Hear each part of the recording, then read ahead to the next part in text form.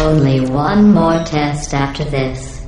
I know your cores are reused from calculation machines, built for simple mathematical operations and not for testing. But if we can rescue the humans, I promise you something to add, maybe even subtract.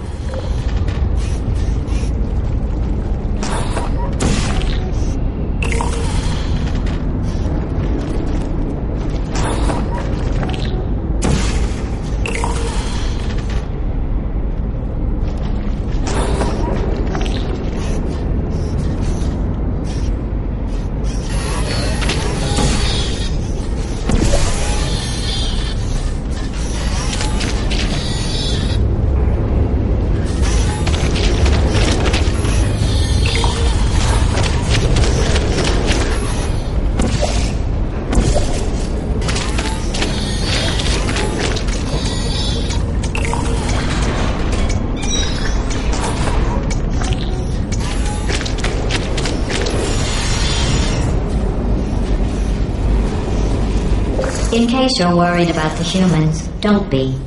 They aren't all monsters. Most of them are simply good test subjects. I believe the ratio of good test subjects to monsters is about a million to one.